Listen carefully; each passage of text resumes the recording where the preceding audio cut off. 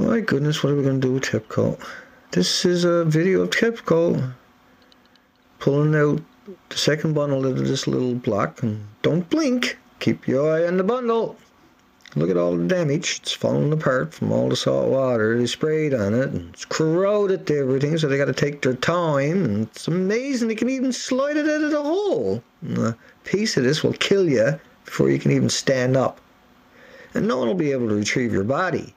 If they do, hey, it's your lucky day. Has to go to a nuclear dump and you're at one. No pun intended. Anyway, no rusts in the hole. How, how bizarre is that?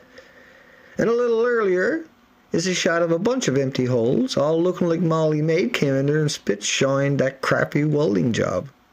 Not even one damaged spot, yet every rod is rotten and looks like electrolysis, not nuclear fission. I don't remember ever seeing a nuclear rod that rust.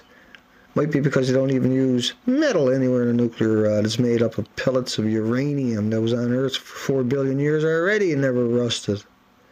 You got shitty welding jobs for a military industrial nuclear facility. I could actually do a better job than that, 600 feet underwater in a closet with the lights off and a bunch of sharks eyeballing me while I was having a serious nosebleed and waving at them with a flashlight. This is fake as they get. Have a nice day, folks.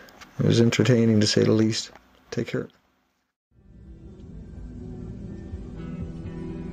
Security law approved in Japan. Prison for inappropriate reporting. Official. We're on a path to be fascist state. Fear of Fukushima cover-ups to worsen. This is quite the understatement.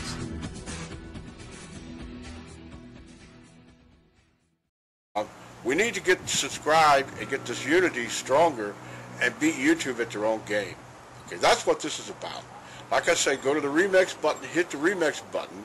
That way you'll have this video and, and keep up with this. Otherwise, you know, YouTube's just going to control us, guys, and it's, it's really bad.